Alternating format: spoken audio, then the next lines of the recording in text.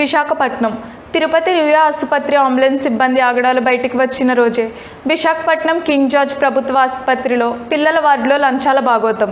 లంచం ఎందుకు ఇవ్వాలని అడిగినందుకు వారిపై దాడులు చేసిన సిబ్బంది. ప్రజల రక్తాన్ని లంచాల రూపంలో తాగేస్తున్న ఇలాంటి జంతువులను కఠినంగా శిక్షించాలని ప్రభుత్వ అధికారి విశాఖపట్నం డిఎంహెచ్ఓను మరియు హెల్త్ మినిస్టర్ విడుదల రజనీని కోరుతున్న బాధితులు.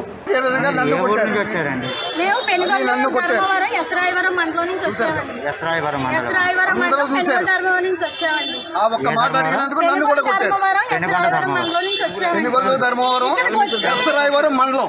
ఏంటండి ఇక్కడికి వచ్చాము? గవర్నమెంట్ హాస్పిటల్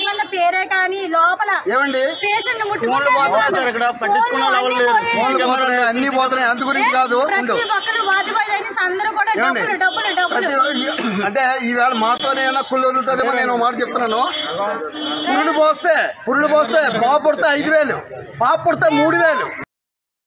ఇవ్వడానికి గవర్నమెంట్ హాస్పిటల్ ఇది. పాప ఇక్కడి నుంచి అక్కడ పేషెంట్ జరిపితే రెండు వందలు. పరసు పోయింది కొబ్బరికాయ కొడితే సూపరింటెండెంట్ రమ్మనండి.